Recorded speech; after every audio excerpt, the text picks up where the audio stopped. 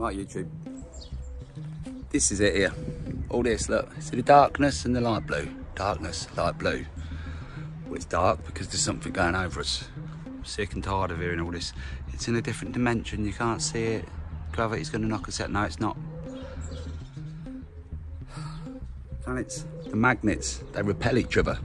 We can't hit each other. We can't, it just doesn't happen, all right? They can't come close.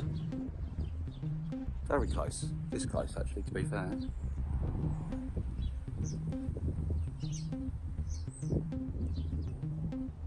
You've got to drop everything you know, or everything you think you know, and start again.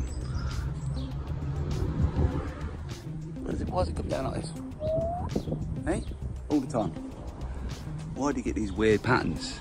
Yeah, because what it is, it's an imprint on our clouds of these things up there doing their thing, coming over us all the time.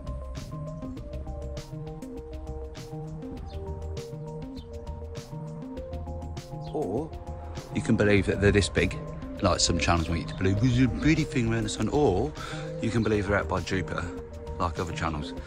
Yeah, or you can go and listen to Eric Briggs, the science bit. Go and have a look at Sam Hoffman, these amazing drawings that he do. Between the two of them, they've pretty much got it right. Yeah,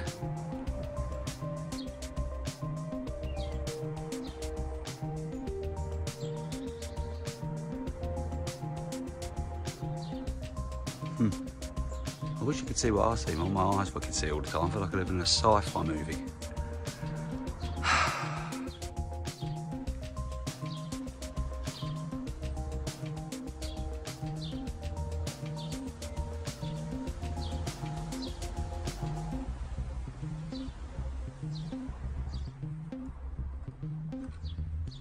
Comes up from the southwest, goes over to the northeast.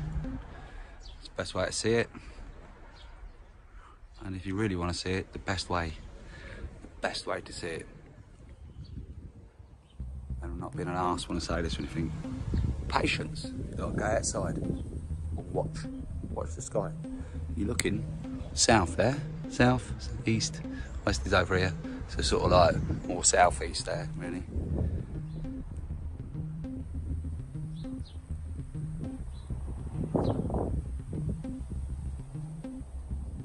Lost that these days, patience. Seem to have lost that, seem to have lost the ability to sit and watch or to observe, be quiet, try and learn, try and learn something.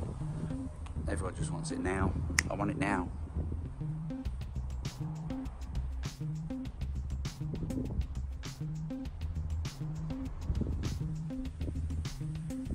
Anyway, just wanted to address that quickly. Just quick. Moving.